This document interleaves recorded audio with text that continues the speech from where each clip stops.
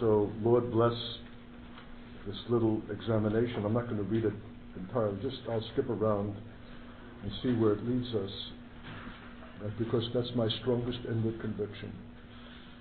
So, even the issue of incarnation is involved here. How do, how do we proceed? You guys think I have all this nailed down? This is a first. We have never gone this way heretofore. It's a subject we have never before undertaken. From um, John Murray and his statement on incarnation, which is classic uh, Reformation theology, which we need to consider, that is built on the creeds that were given the church in the fourth and fifth centuries, and that they uphold to the letter. Or do I read from today's Tozer that is more or less of a devotional kind that touches the issue of the church in its present condition and its need? So I have to say, in the want of any voice from heaven, my strongest disposition is to read from Tozer. So here's an example for you of how to proceed. By the operation of the life of God, what is your strongest impulse? And in the absence of anything that competes with it, uh, do it and believe that it's God, which is not a presumption for the immature or untested believers who any straight thought in their heads they think is God's and they'll express. It's a statement that is only consonant with a life of God's dealing in the school of maturity in which a person would say that my deepest inward sense is this from God and I'll act on it.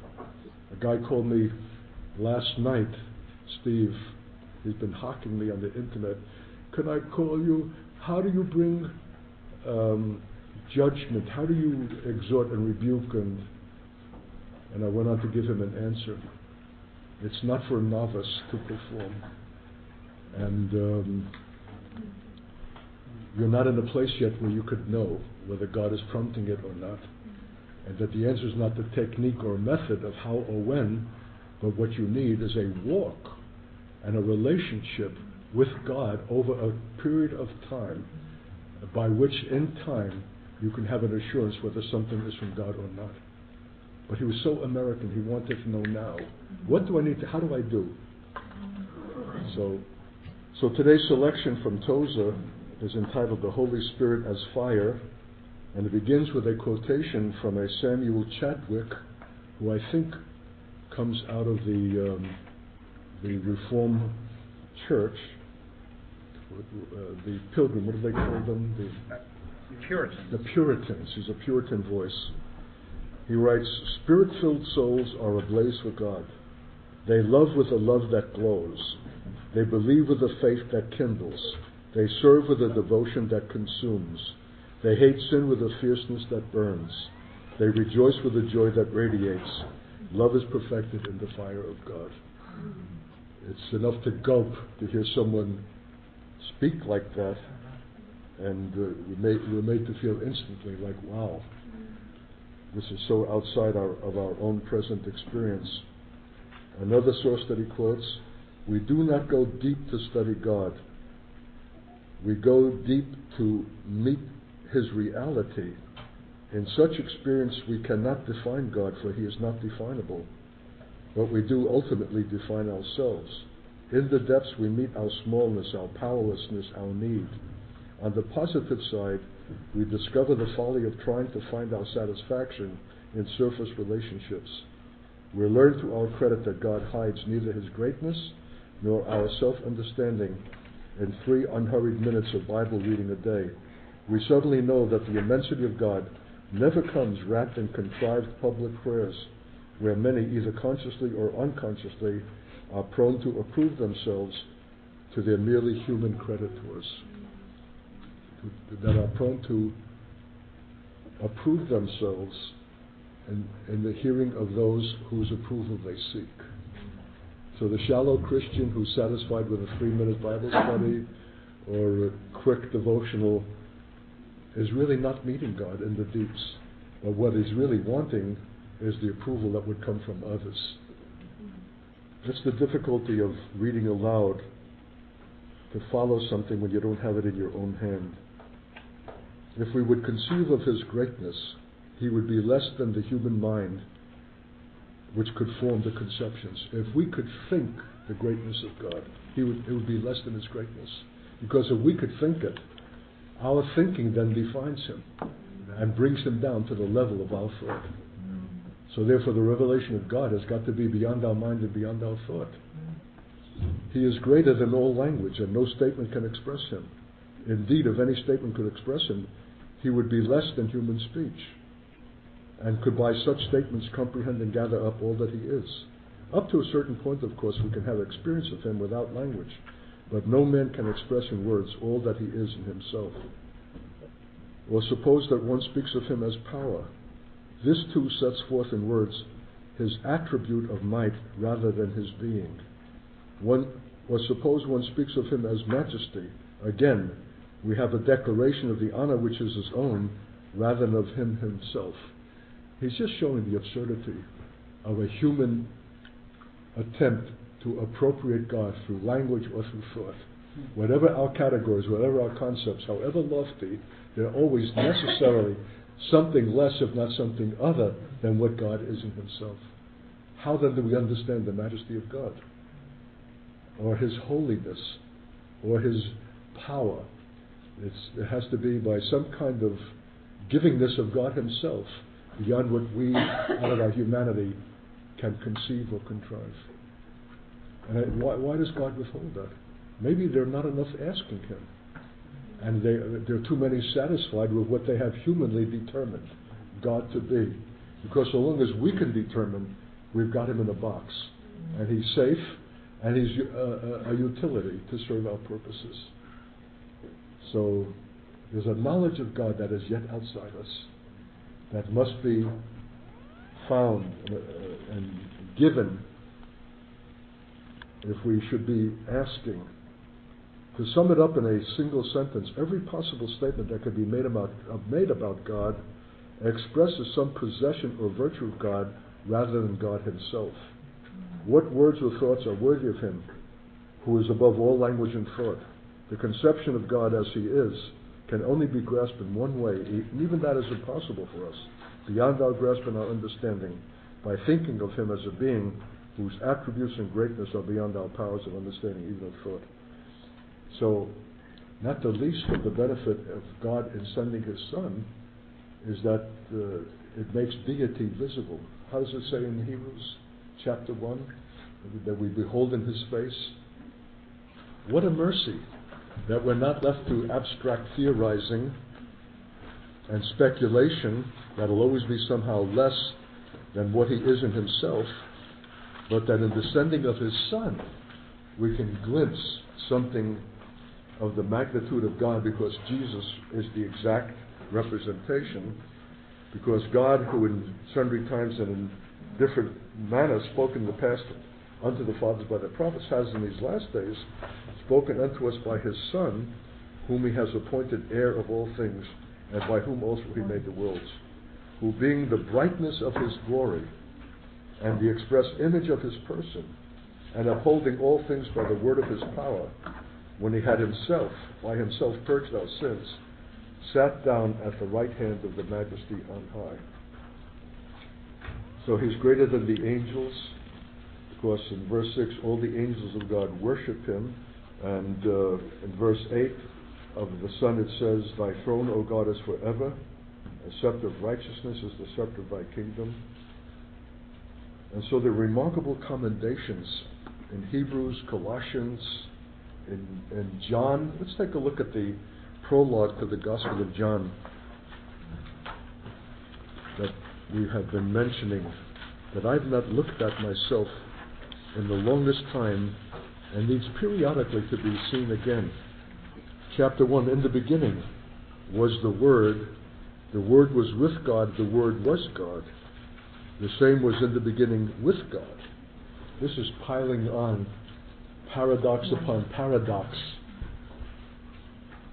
And all things were made by him, and without him was not anything made that was made. In him was life, and the life was the light of men, and the light shines in the darkness, and the darkness comprehends it not. Verse 10 He was in the world, the world was made by him, and the world knew him not. And verse 14, the Word was made flesh and dwelt among us, and we beheld his glory, the glory as of the only begotten of the Father, full of grace and truth. And verse 18, no man hath seen God at any time. The only begotten Son, which is in the bosom of the Father, he hath declared him. Amen. So the study of Jesus, his person, his speech, his conduct, his acts, his suffering, his death, his pre incarnate life, is the revelation of God the Father. If you see me, you see the Father. Why do you ask, Show me the Father? Have you not seen him? If you see me, you see the Father. I and the Father are one. It's a great mercy that the Son not only brings our atonement, but brings the revelation of God and saves us from vain speculation. But even with the coming of the Lord, there are dimensions that we're yet yearning in our inward being that only the Lord Himself can bring. Because even Jesus, if we're not careful, can become a, uh, a matter of fact entity, a, a familiarity. And we see him in his humanity and um, ironically lose the communication of God. So, as much as that is a provision, it's also a danger. Because even those who walked with him, uh, is this the one whom we were told to expect? Or is there another? They had to send an envoy to John the Baptist to validate Jesus, even though that he's there in their midst. And someone has wisely said that those who were contemporary with Jesus and walked with him had a greater difficulty to recognizing in him the Son of God and the Father than we who have come 2,000 years later and read of the account. That somehow the man in the flesh repels the recognition because we're affronted by flesh or distracted by the flesh and we cannot see the glory revealed through the flesh, but the flesh itself constitutes a barrier to that seeing. That's not only true for Jesus, that's true for the body of Christ. That's why Paul said, I see no man after the flesh, even Jesus. But we unfortunately see the man in the flesh and miss the deity, the, the component of God that is working and expressing himself through those vessels. Here he talks about Pentecost, and that which came upon the disciples in the upper room was nothing less than God himself. To their mortal eyes he appeared as fire. And may we not safely conclude that those scripture taught believers knew at once what it meant? That God, the God who had appeared to them as fire, throughout all their long history was now dwelling in them as fire. He had moved from without to the interior of their lives. The Shekinah that had once blazed over the mercy seat now blazed on their foreheads as an external emblem of the fire that had invaded their natures. This was deity giving himself to ransomed men. The flame was the seal of a new union. They were now men and women of the fire. I've never heard a single Pentecostal or charismatic ever describe the infusion or the baptism of the Holy Spirit in such words as these. And because we don't see it as such words as these, we're receiving less than this. As your faith is, so be it unto you. If you're just receiving something like an endowment from on high as power and have not seen it as very God Himself, as fire, infusing the soul, and must necessarily then bring a remarkable change, then we don't see that change. We don't receive that.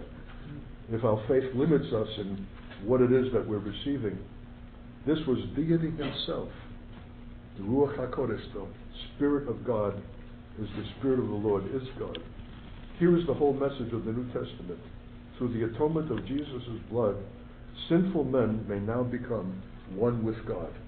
So here it's touching the subject that's before us of incarnation. Deity indwelling men. That is Christianity in its fullest effectuation. And even those greater glories of the world to come will be in essence but a greater and more perfect experience of the soul's union with God. Bringing many sons to glory is the same, the very same thing. So, deity indwelling men, that I say is Christianity.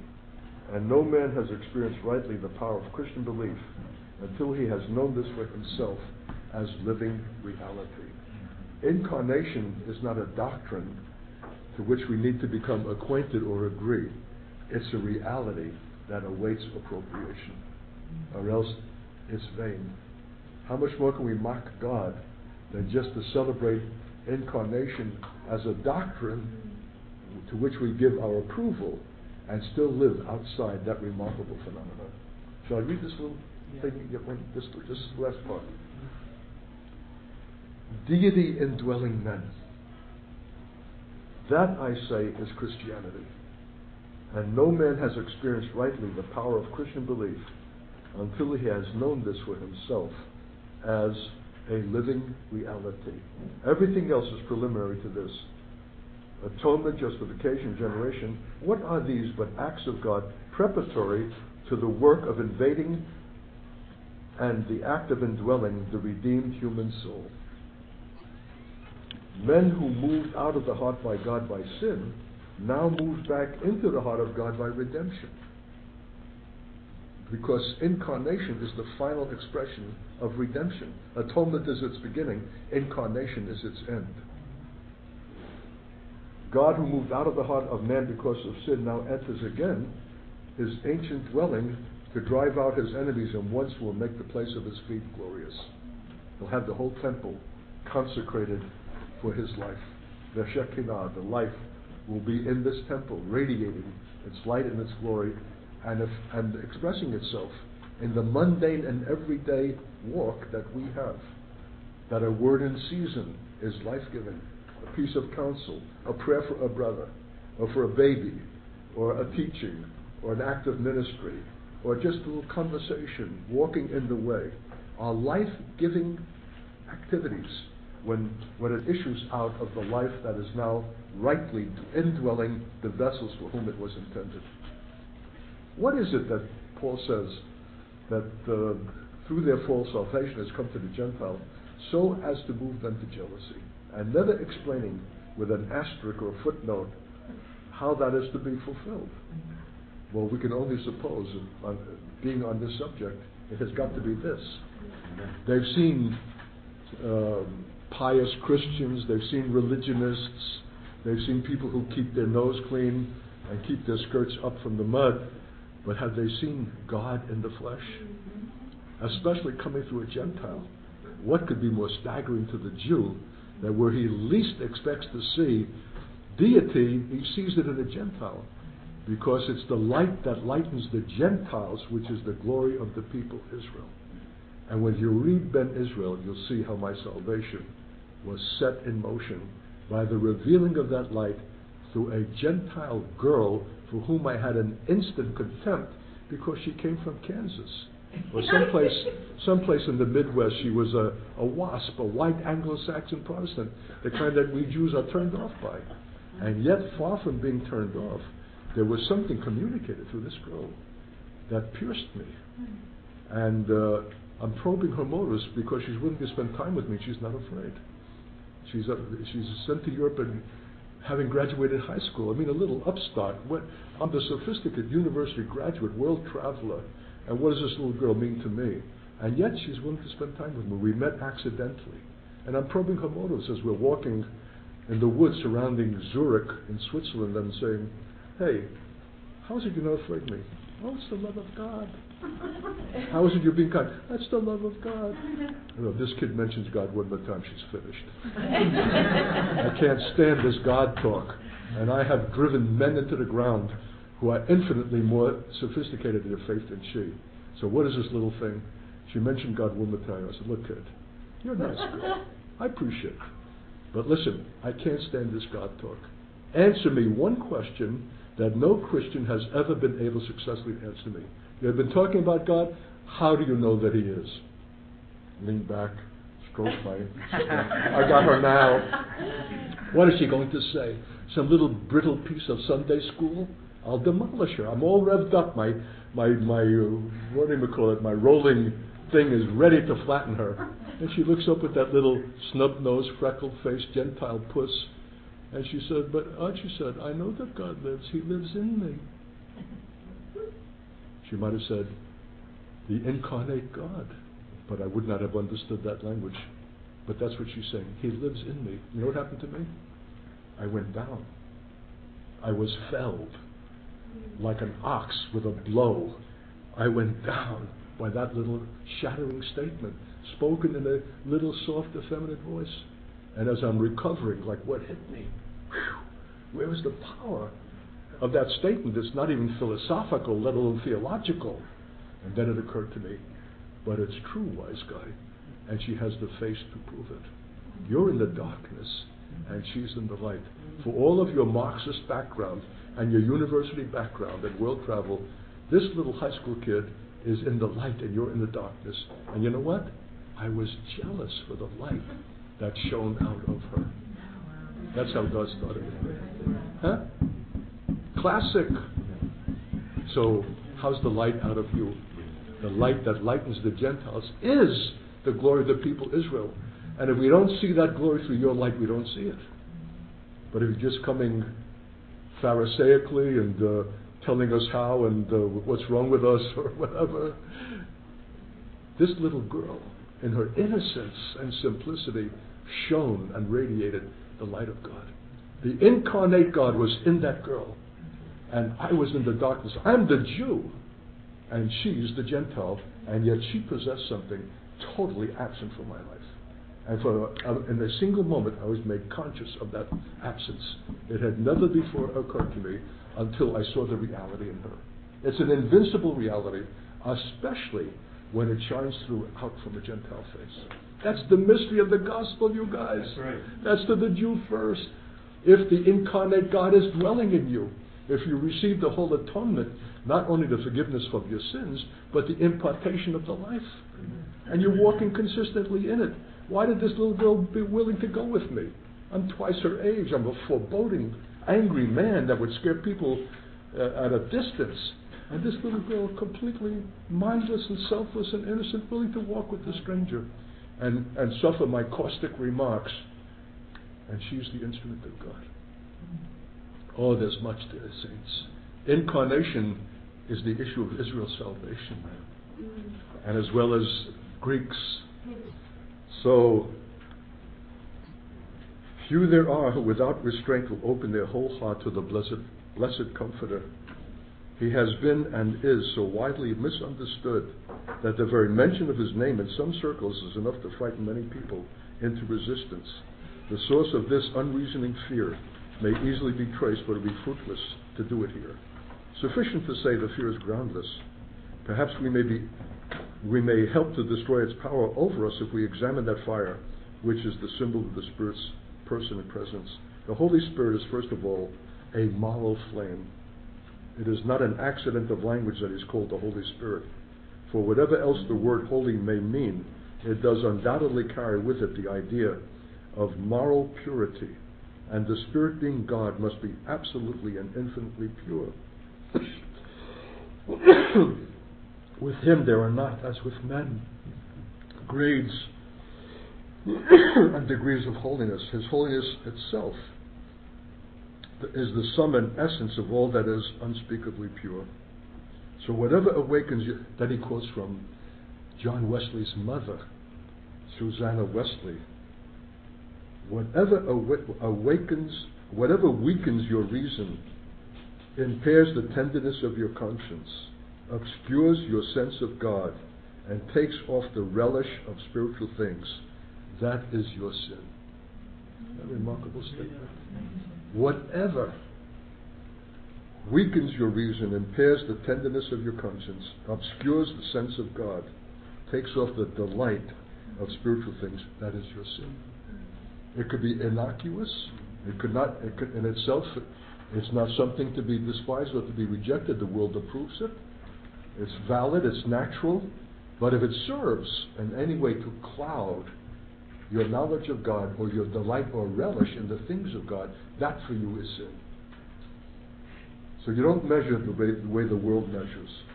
That's a real nasty boo boo, an infidelity, a sexual sin. No, it could be harmless, it could be innocuous, it could be attested, valid, and approved, even through the church. But if in you it serves to cloud your reason and your knowledge of God and rob you of the delight from the things of God, that for you is sin. Mm. And needs to be feared and resisted and, re- and given over as much as the most conspicuous and blatant sin. That's Wesley's mother. I tell you, with a mother like this, like that, the son has got to go far and did. Both sons, John and uh, Charles. Charles, the great hymnist. No transgression. Well, let me see. All the base of all true Christian experience must lie a sound and sane morality. No joys are valid, no delights legitimate where sin is allowed to live in life or conduct, because it clouds that incarnation. That little girl was sinless. If she was given over to hanky panky and had a little boyfriend on the side and was already indulging herself, her testimony to me would have been invalidated. Her face shone. There was a radiance because her life was clear and pure in God. Praise God. And you know what? In 35 years in America, I never encountered that phenomenon. It had to take place overseas in a rare encounter because so rare are the vessels that communicate that light. Because their life is clouded. They've allowed sin uh, and indulgence to rob them of that purity, and therefore the life and the life is, is concealed. They would have no disposition to talk to a stranger. They would probably turn away out of fear for themselves.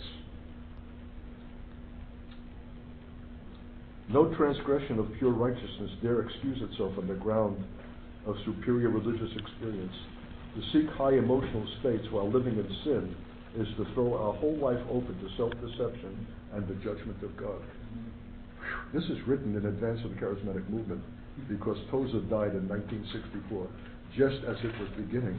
But how prophetic this is for a movement that so celebrates experience, emotion, highs, that you run all the way to Toronto to experience what you can't find uh, in your own prayer chamber? Can you reread the last sentence? Huh? Can you reread the last Yeah. sentence? No transgression of pure righteousness dare excuse itself on the ground of superior religious experience. To seek high emotional states while living in sin is to throw our whole life open to self deception and the judgment of God.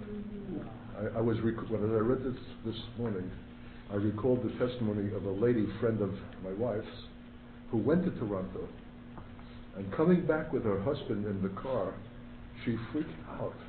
He had to stop the car and pull off to the side of the road. She was shrieking at the top of her lungs in such an emotional scare because she had lost the sense of herself as a person. She had lost her identity by going forward and seeking an experience where people were cackling like animals and barking like dogs. And something happened in that environment that robbed her of her own sense of herself. And as she was driving, and the, the atmosphere has dissipated that, was, that had been provided there, she became aware of this and she was thrown into a, an alarm that the poor man had to pull over to the side of the road. His wife was freaking out. So there is a danger in seeking for high emotional experience as somehow to bring the knowledge of God. And we may be barking up the wrong tree and opening ourselves to things uh, of a kind that he calls open to self deception and the judgment of God. Be holy is not a mere motto to be framed and hung on the wall. It is a serious commandment from the Lord of the whole earth. The true Christian ideal is not to be happy but to be holy. The holy heart alone can be the habitation of the Holy Ghost. So, quoting from James, cleanse your hands, you sinners, and purify your hearts, you double minded.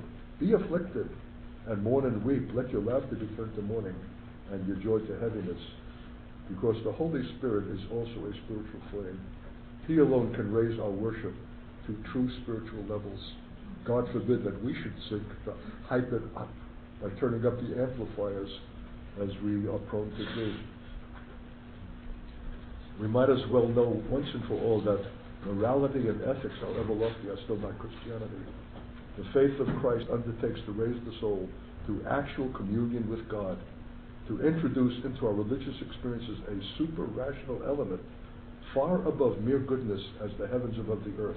The coming of the Spirit brought to the book of Acts this very quality of super mundaneness, this mysterious elevation of tone, not found in as high intensity even in the Gospels.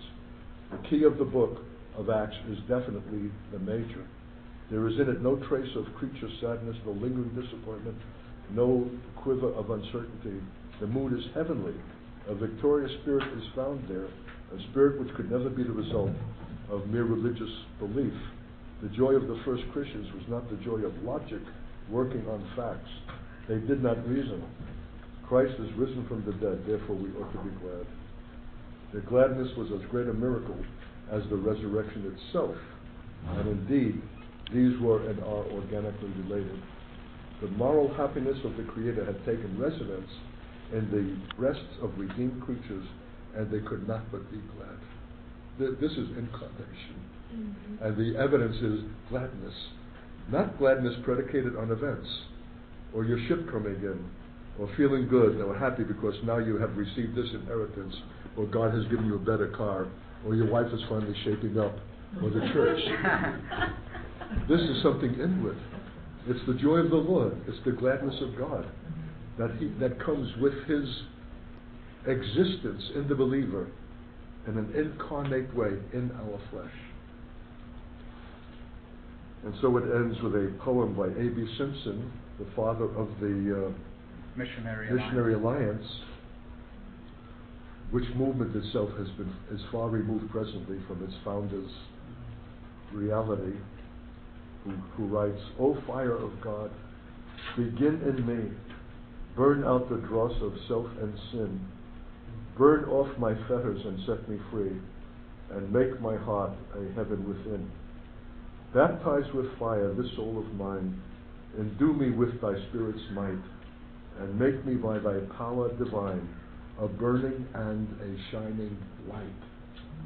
Burn in, O fire of God, burn in, till all my soul Christ's image bears, and every power and pulse within his, his holy heavenly nature wears. Burn on, O fire of God, burn on, till all my dross is burnt away, till earth and sin and, and self are gone, and I can stand the testing day. That precious? That next to last verse, burn in, O fire of God, burn in, till all my soul Christ's image bears, and every power and pulse within his holy heavenly nature wears. And if an innocent high school graduate, who by every appearance is only a wasp, white Anglo Saxon Protestant, can display that image, then in what vessel is that possibility denied? Mm. And in what form will it take in every vessel? It, will it be one standard thing, will it, express it, will it express itself in the uniqueness of the earthen vessel through whom it is exhibited? And how much is that witness being denied by somehow our failure to appropriate that life or live consistently in it, though we're told to be witnesses unto me? It is much more than quoting the scripture or citing John 3.16. It's evidencing Him, deity in humanity, God in the flesh, and coming forth in speech and appearance and tone in the way unique to that vessel. This is the mystery. This is Christianity. This is the faith. This is the consummation of atonement. Anything less than this, just to be forgiven your sins and not to be walking in this measure, in this reality, is to be doomed despite to the grace of God, who intended the full measure which he himself exhibited for the first time as God in the flesh, and is bringing many sons to that very glory. But will it come if we do not desire it? Will it come if we do not, do not seek it? Will it come if we are content with the measure that we have and are unwilling to empty ourselves not of our defects but our virtues. It's not our defects that are the hindrance. We're glad to put that over. It's our virtue, it's our ability, religiously, that stands in the way of the full appropriation of the divine life. Because life only comes on the basis of death. So long as we're clinging to something and want to succeed on the basis of that, his life is yet withheld. So we need to empty ourselves of ourselves, not at our best, but at, not at our worst, but at our best. Then the life has opportunity. Then the glory inhabits his temple. Then it radiates and shines out, not just in the great moments of requirement, but in the everyday. And we had made mention earlier in these days of the difference between the raven who never came back to the ark and the dove who came back because it did not find a place for its feet. But there's something about the dove as the symbol of the Holy Spirit that will not roost in any old place. A raven will, but a dove is, what's the word? Im- impeccable and uh, uh, holy and separate, and that's the unique nature of that bird, symbol of the Spirit, that had to come back because it found no place for its feet. It will not roost anywhere. And maybe that's why it is we're not experiencing the fullness of that Spirit because we have not come to a place of repentance. Because the way that Chambers is using the word repentance here is more than just the forsaking of sin, it's the forsaking of self, emptying out completely of all that is human, because that's not a fit place for the dove. And man is no good thing, even at his best. Why callest thou me good? There's no man good, no, not one, but God. So we have not understood repentance in the depth of God's intention. Of course, sin needs to be repented for that blatant activity against God. Against thee only have I sinned. That was yesterday's thought. But here is repentance in its fullest sense. Not just the giving up of sin, but the root of sin, which is self. And that is the ground for the receiving of the Holy Spirit. Just think if when I'd asked that girl 41 years ago, how do you know that God is? And she would have quoted me a scripture. Or she would have quoted John 3.16. Or given me some conventional Christian reply, I would be dead now. No question. But the one statement that bludgeoned me and brought me down and all my proud arrogance was, I know that God lives because He lives in me. And my question to you is, how did she know to say that? How did she know that she was not to use a John 3.16 or some other scripture that would have turned me off completely? How did she know to avoid any truism about the faith or mechanical recitation that Christians often speak when they're in a situation like that? How did she know to speak what she spoke? It was completely uncerebrated. It was not something that came by. Now, what should I say to this man? This is a Jew. He's a toughie. Let's see. I, no, it came out in the remarkable, effortless spontaneity of the life of God in that vessel. And it was a life saving word, a life turning word. Because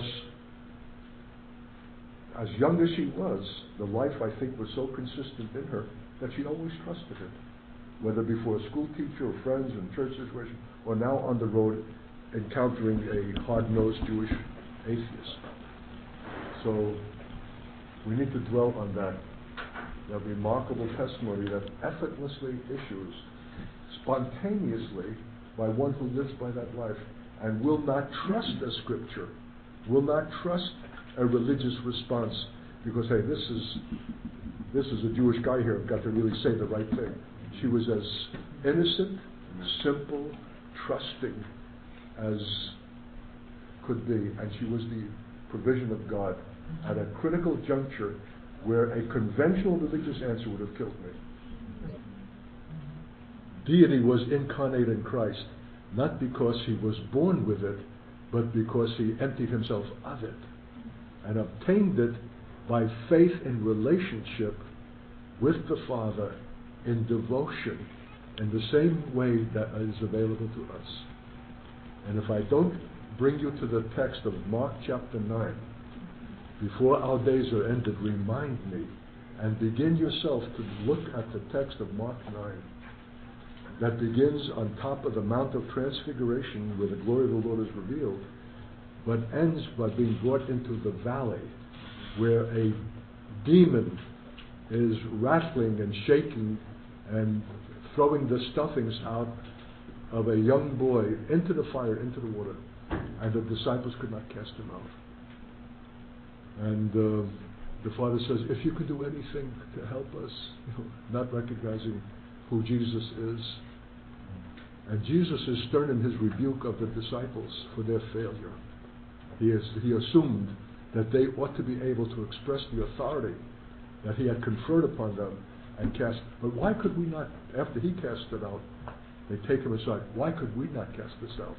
Well, because this kind, this ultimate kind, that is calculated to do in that Son, who is the symbol of Israel.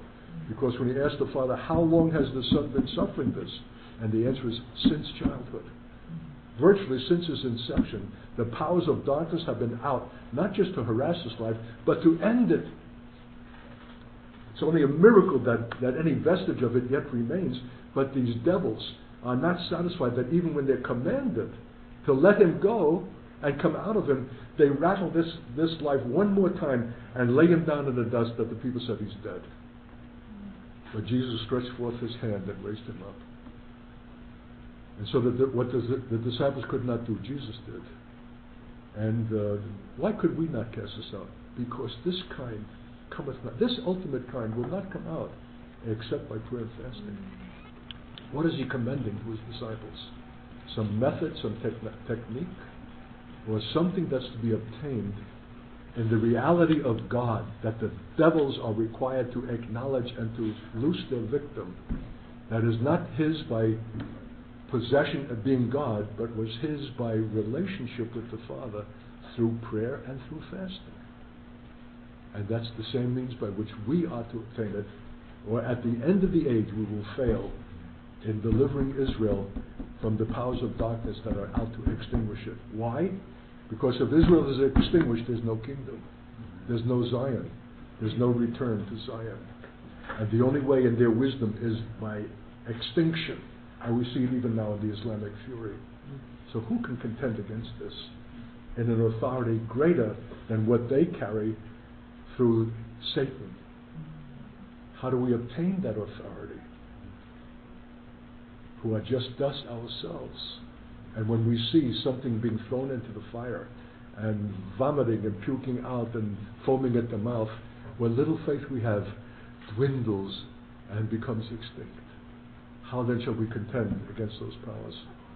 This kind cometh not out, but by fasting and prayer. Because only in those activities is the reality of God to be obtained that is greater than the reality of darkness. And if you'll not it there, you'll not succeed. So that the issue of Israel in last analysis is not some heroic uh, last days, look, my no hands, but is the, the result of a lifelong devotional relationship with the Father by which that reality that is divine is imputed in communion so the issue in the last analysis is devotion, not heroics. Read that text because it sums up the whole issue of incarnation. But incarnation how? Through fasting and through prayer. Through self denial and through communion. Not prayer as petition, but the kind of prayer that should begin after petition and not be ended by petition. This is a remarkable last day statement that we need to dwell upon and consider. I wouldn't want to eternally myself carry a disgrace that I would be grieved to eternally consider that I failed in the crucial moment to be Israel's deliverer because of sloth, laziness, indifference, and neglect, in not seeking God at His source, and that I did not have the requisite authority and presence to compel those demons to let go their victim. Jesus could do it not because he had God as God, but because he had God as communion. The di- disciples could not do it because though they had been on the Mount of Transfiguration and had seen his glory, they were, they were, it was quickly dissipated the, when they had to see the horror and the ugliness of the demonic powers below. We have to carry with us a greater reality than that which is in the world. Greater is he who is within us than he who is in the world. But is he in us in that degree? And is it the same in every believer? Do we have the same standard amount? Or is it proportionate to the room that we have made by our own emptying and the giving of ourselves to the place of communion with God? When we're not seeking Him for what we can get from Him, but seeking Him and spending time with Him for what He is in Himself. That's devotion. It's not commerce. And uh, so my earliest question as a Christian was, uh, Lord, I see a lot of Christians, but where are the disciples? I thought they were another species. and maybe they are.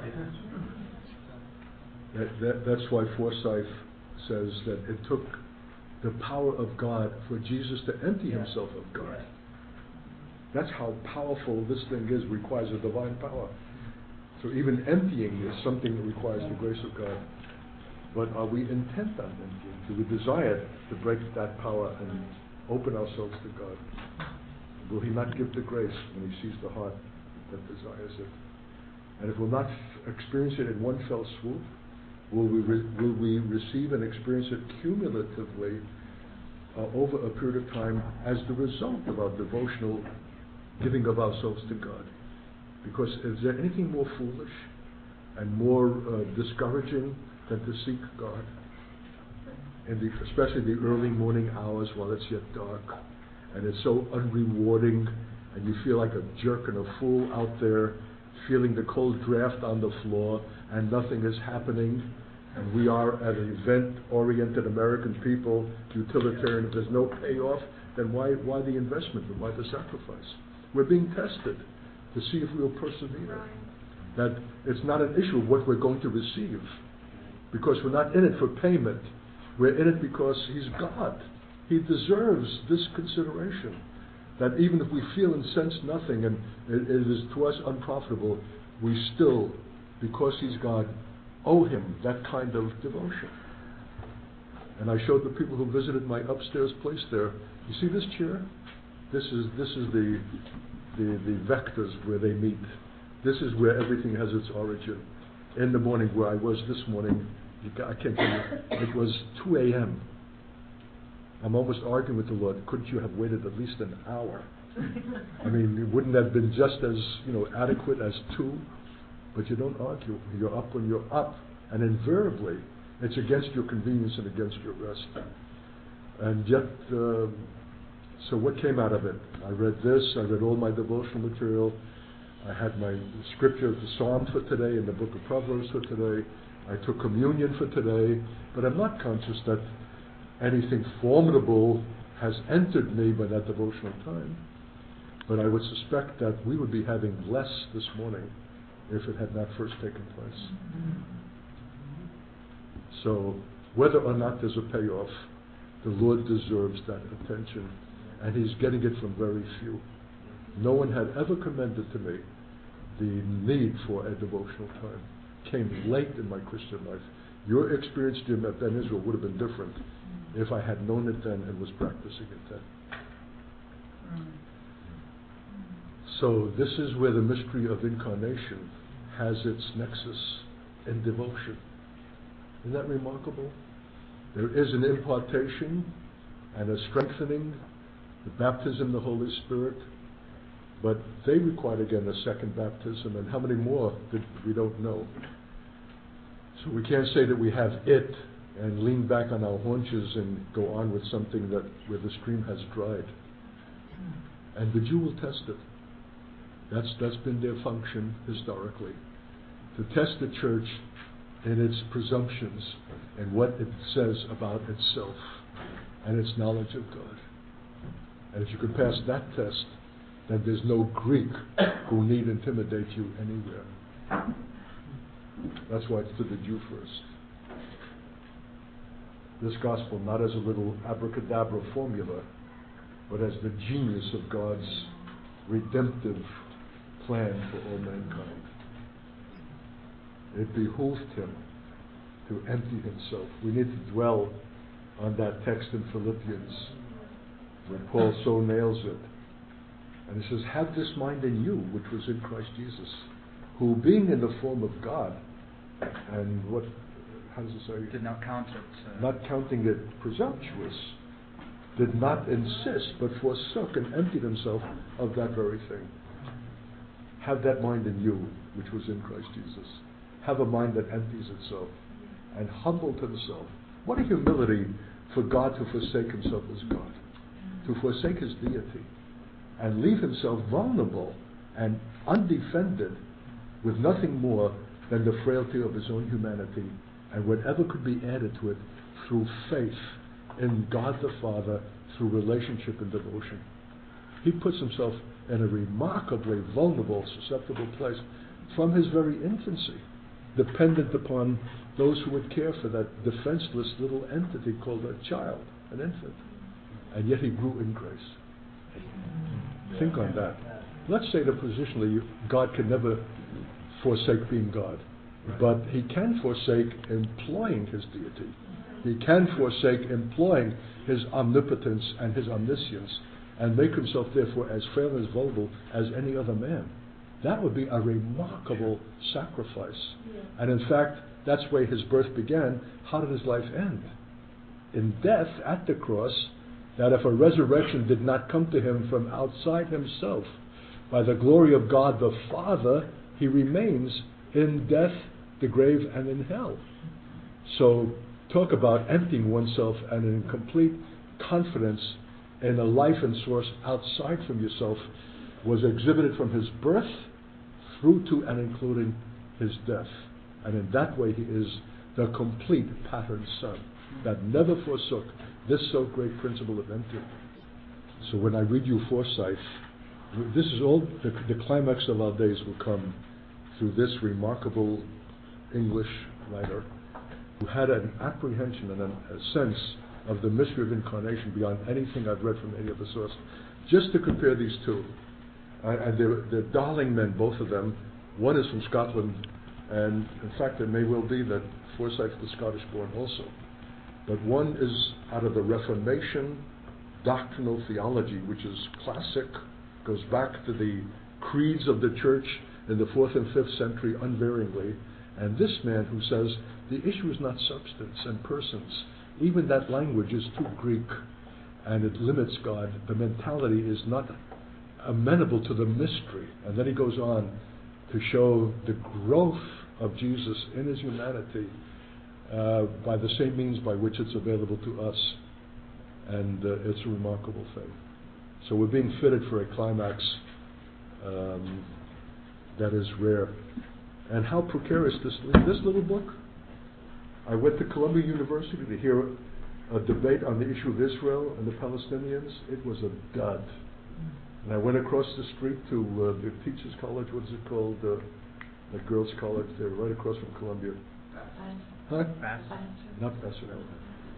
But they're a Jewish professor of uh, theology who has written a book on Paul, was lecturing on life after death. And that proved the dud. And so, I'm, um, Lord, I came all that way from Brooklyn on the subway, an hour and a half each way, and many times I'm going home at night. They change the route, and you, and you have to change trains to this train, that train, and it's just a drag. And both things have failed that seemed so promising. Well, the thought came to me, from whence I don't know. Why don't you visit the used bookstore just around the corner from Columbia, where you've been before? So I walked over to the used bookstore. I said, "You have a theology department?" He pointed me to a section, and I came to that section. This book was lying on the top of books. I picked it up. Oh, P.T. Forsyth, yes, the cruciality of the cross that I had in a little booklet form. The person and place of Jesus Christ. I'm looking through. Hmm. Fifteen bucks. Katz, that's too extravagant. Uh, no, you can't indulge yourself. And I looked at another book and I said, any discount for senior citizens? he said, I'll give you both books for, I don't know what, 15 or 20. I sold.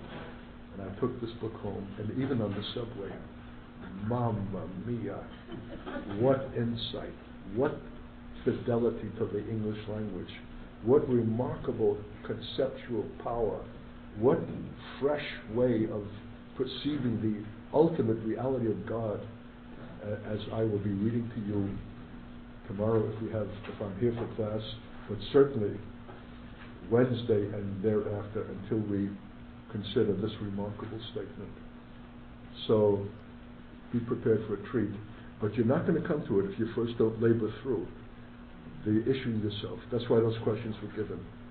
To heighten your sensitivity and your own grappling with the great mystery of incarnation, so that when we hear from this man who has grappled, we will receive all the more the benefit because we've done some homework of our own. Can you take a little statement from John Murray before we end today? And this is a commendable man, but very exacting. He talks about the hypostatic union. This is the word that the Greeks, the, the theologian of the early church, in their council at Chalcedon and Nicaea, came up with how do you reconcile the issue of the deity of God and the humanity of man in Christ? They talked about a hypostatic union, the doctrine of the two natures in one person. and the formulation of Chalcedon, one and the same Son, our Lord Jesus Christ, the same perfect in Godhead and also perfect in, in manhood.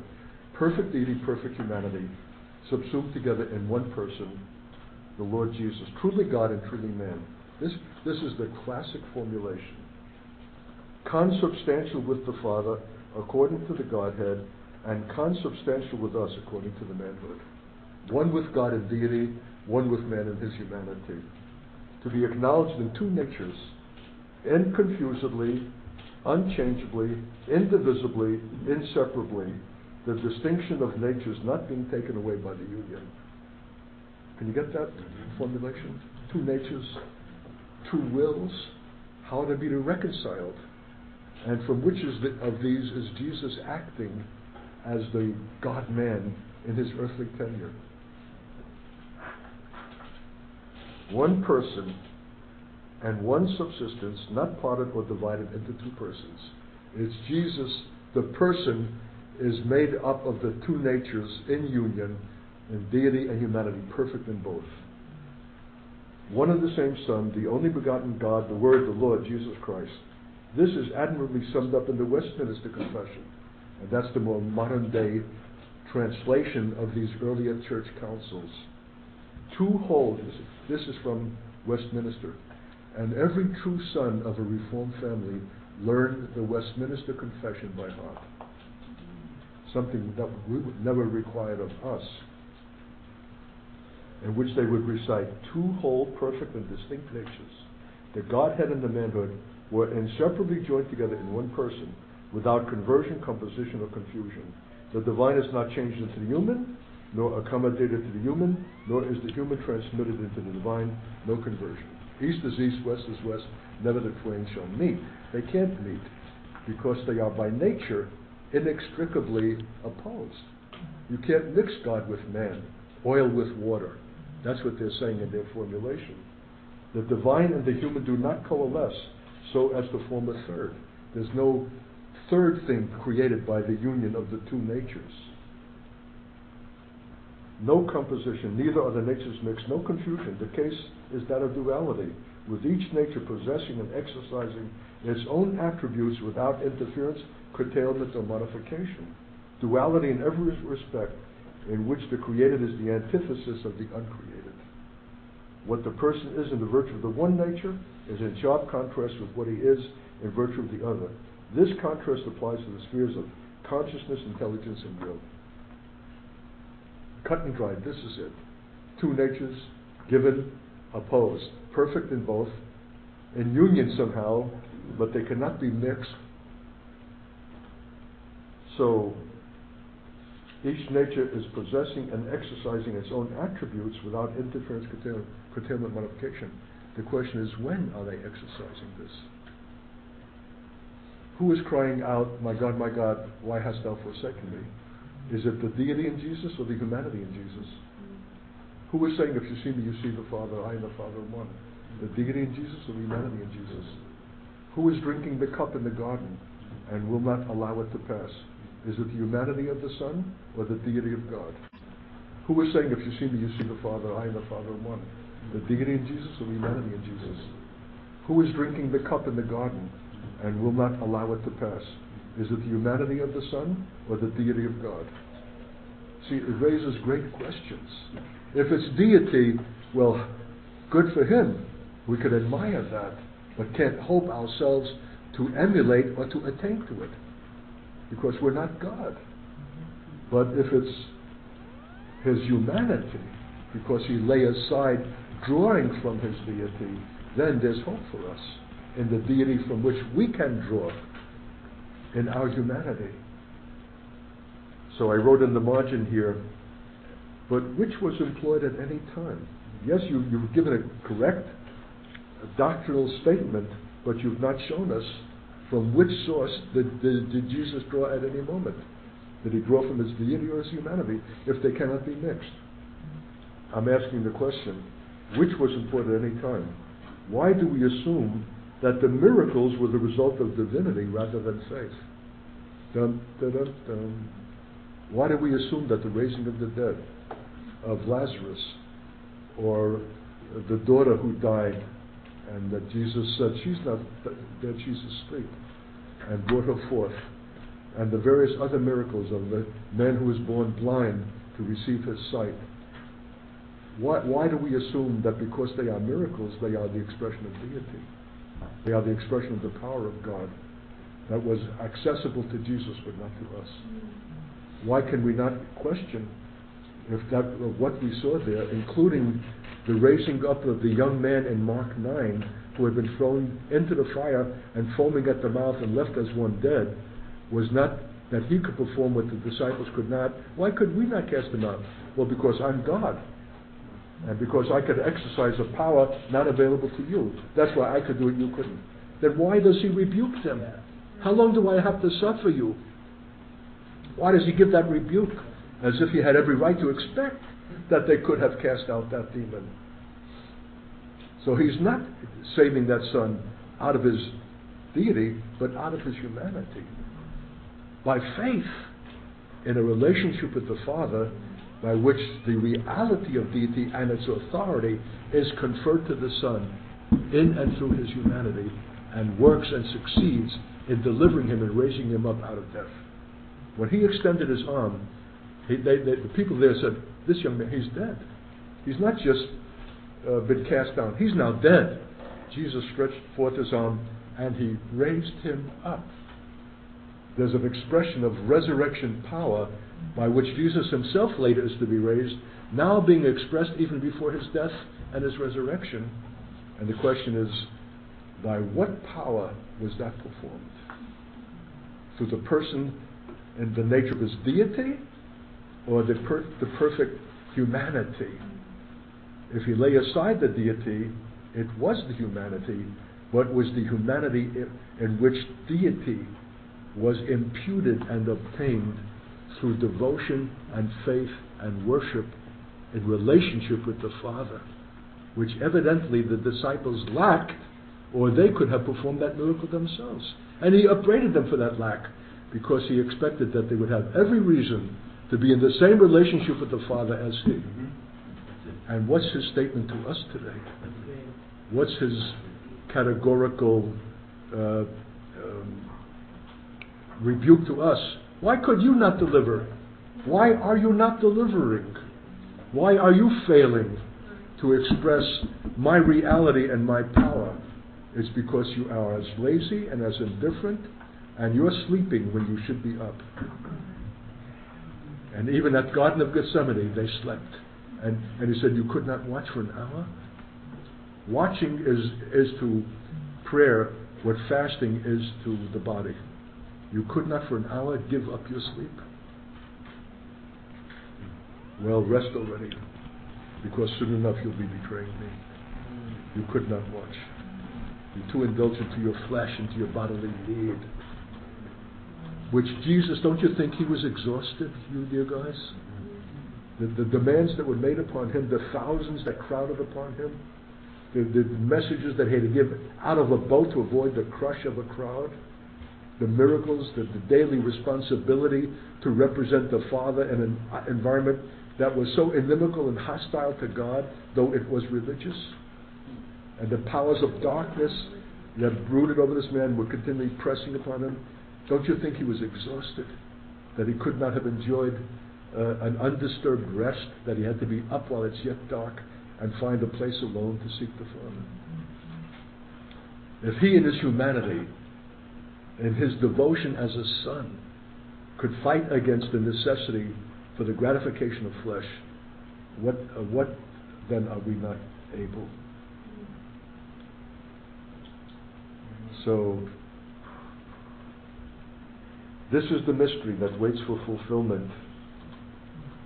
It was, the, it was the person of the Son and He alone who took human nature to Himself into union with His divine nature in one divine person.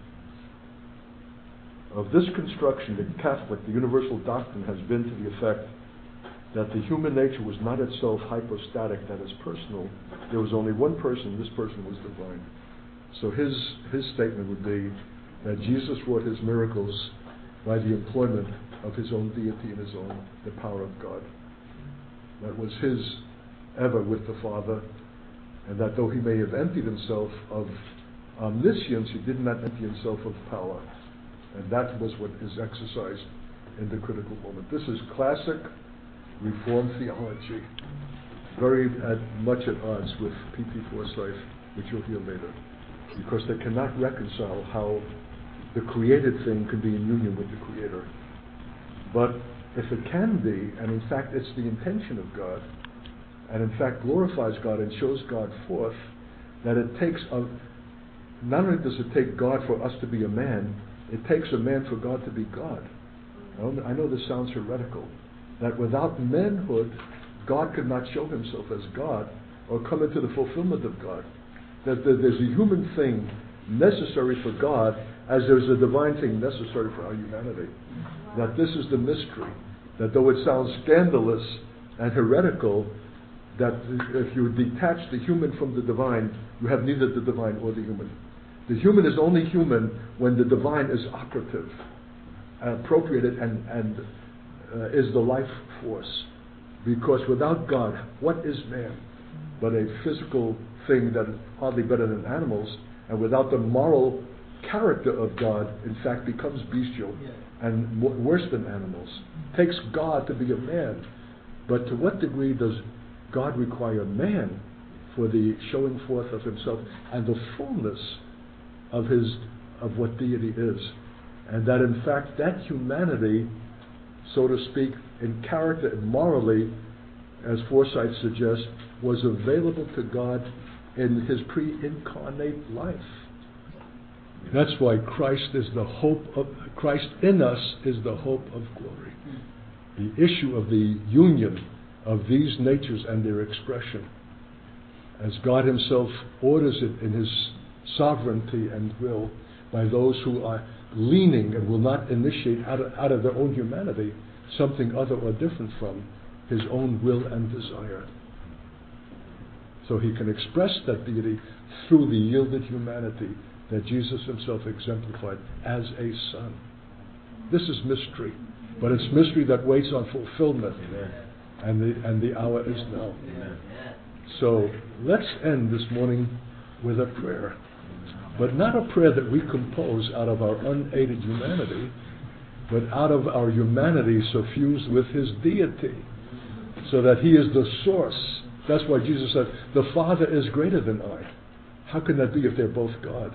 What he means is greater as the source of which I am the acting out. But the source is his word, his thought, his act. Let incarnation now be expressed in our prayers and then in our worship. and then in our service, then in our testimony, then in our ministry, then in our marriages, then in our fatherhood and motherhood and brotherhood, and the church will be the church, and God will have obtained His glory. Let's pray.